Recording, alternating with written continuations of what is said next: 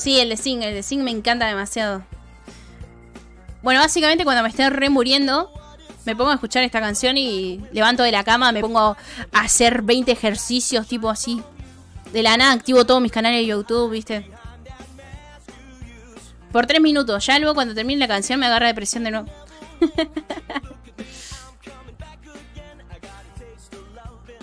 Joder, subí, basta. Eso no es gracioso.